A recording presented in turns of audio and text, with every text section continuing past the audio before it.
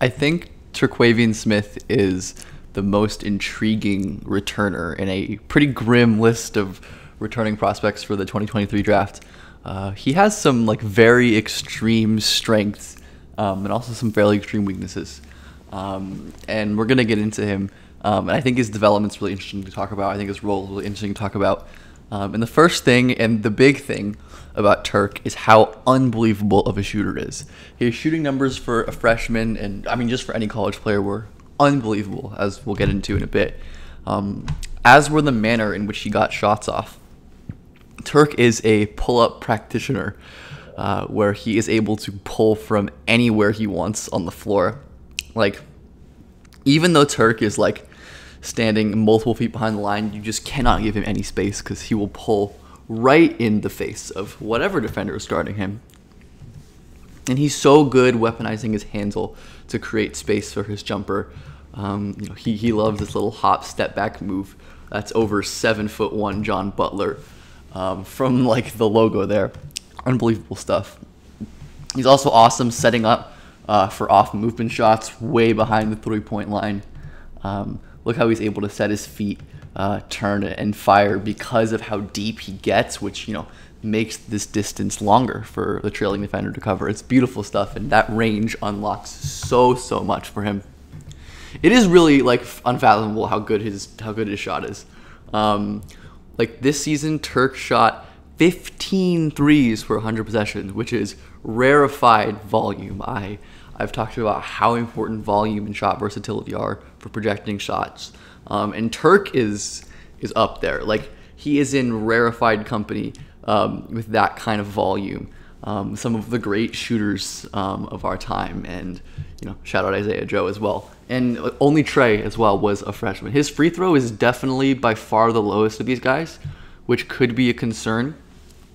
Because um, one of the big things about about Turk is is this real? Is this sustainable, or was this just a big hot streak? Uh, which whether or not it is, um, you know, it was a good decision for him. I'm not going to comment on that. Uh, returning to school will help us answer that question, which is why I'm so excited to watch him develop, um, and you know, see um, if this ends up being real and he you know continues to shoot like this. Uh, that just adds so much value um, as is. He has some mechanical flaws um, where like he can uh, like, his base can kind of be off. Uh, watch he like is very prone to like kind of like swaying his his base forward a lot. Uh, he doesn't often follow through. Uh, his shot can be pretty upright and stiff. Uh, and funny enough, funny enough, Turks. Uh, kind of like mechanical quirks remind me of like earlier career Lamelo in a lot of ways. Obviously, Lamelo started at a way lower baseline, um, but like NBL Lamelo had similar issues uh, where he'd sway his legs forwards like really aggressively, um, and he like wouldn't hold his follow through, and he's just generally very stiff on these jumpers. Uh, you can just see how upright he is, and this is like you know improved Lamelo. Um, you know you can see it kind of again on this shot, uh, just the kind of stiffness, uh, the legs, all of that. You know I think is similar to Turk's issues, and Lamelo has you know largely ironed those problems out, or his base is so solid and balanced now uh, he holds his follow through. Um, the the mechanical issues that the elbow is, you know, Turk's elbow is miles miles better than where Lamelo's elbow was, even at the same state. Like it is in uh, as where Lamelo's was, you know, improving but all over the place. So just a fun little comparison I saw. Um, obviously, very different players, and you know, Turk's not Lamelo or you know Lamelo caliber, but interesting similarity for potential shot development where that extreme strength is is balanced out by Turk's first like the first of two like big weaknesses and just like his his general physical athletic profile where this play encapsulates it well.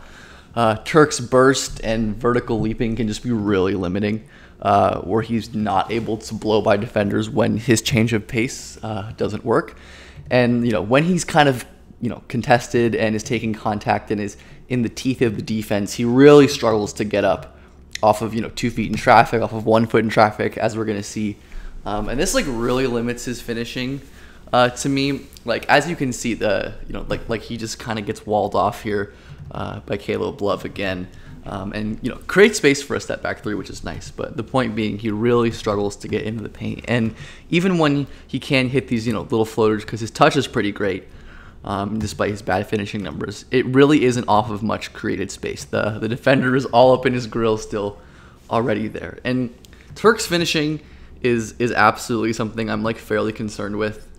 Um, his finishing is real bad. Like 48% from at the rim is like really not good. And the history of these like high volume shooters who can't finish is not great. Like most guys just don't finish that poorly. Um, and even if you get rid of the shooting, like this bad of finishing is not a very auspicious indicator.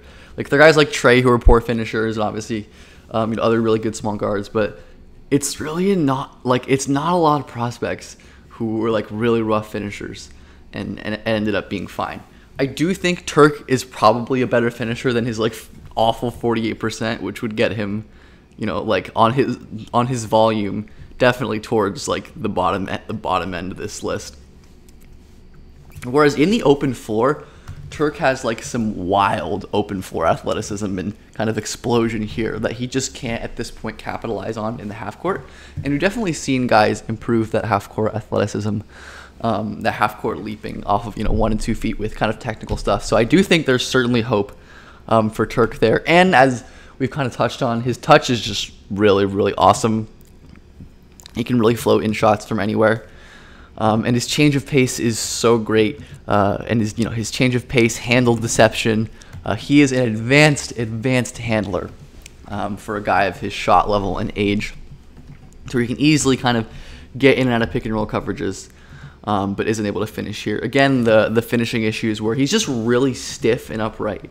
Uh, Turk, as we'll continue to see, has like really great shin angles as like his his shins and like just go so low to the ground on on you know on the breaks of his crosses. Kind of hard to see here, but we'll see more later, uh, which really helps him explode. But uh, when he's trying to get leverage and get around defenders with his burst and take contact, he's so upright and you know lacking in air mobility and just general like upper body torso mobility.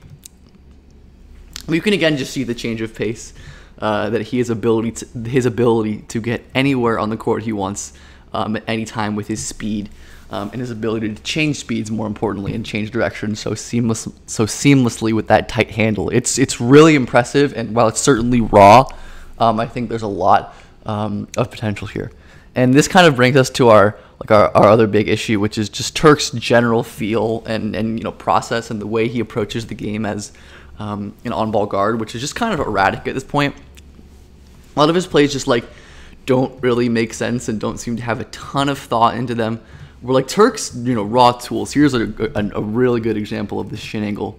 Uh, look at that. His shin is totally parallel, right off the ground. That's impressive stuff, and allows Turk to explode into the paint. But he's like not really sold on what to do. He should probably be shooting this, even though twisting was never a good idea because this defender is already retreating. But Turk tries to pass it anyway, and stuff like that um, is just way too common for him where he's not making good decisions and he's rushing his decisions. But there certainly was progress uh, throughout the season where Turk uh, ended up getting pretty solid at snaking pick and rolls, being patient, and you know getting into the paint this way. And again, we see his awesome floater shine there, which I you know hoping will end up uh, you know improving his rim his rim efficiency.